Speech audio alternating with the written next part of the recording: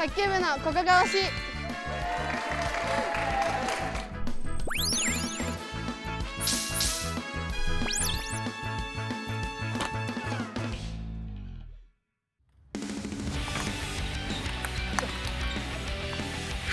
平成15年創部の卓球部。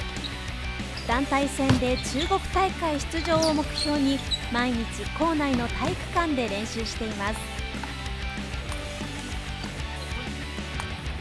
監督は指導歴35年の高田光一先生。試合の勝ち負けだけでなく卓球を障害スポーツとして楽しんでもらえるような指導を心がけています。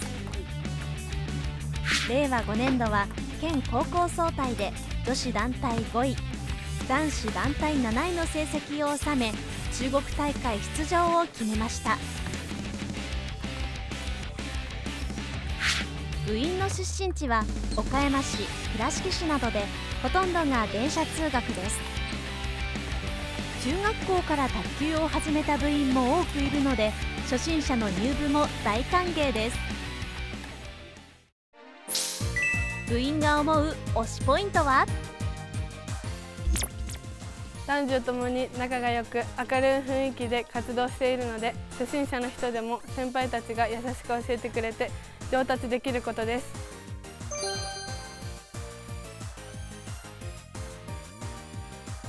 試合をたくさん経験することで自分の課題を見つけることができます。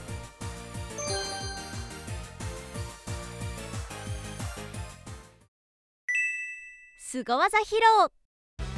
ここでは卓球部の皆さんにすご技チャレンジとして連続紙コップ倒しに挑戦してもらいます制限時間内に台に置かれた4つの紙コップをスマッシュで倒す技。果たして成功できるでしょうか？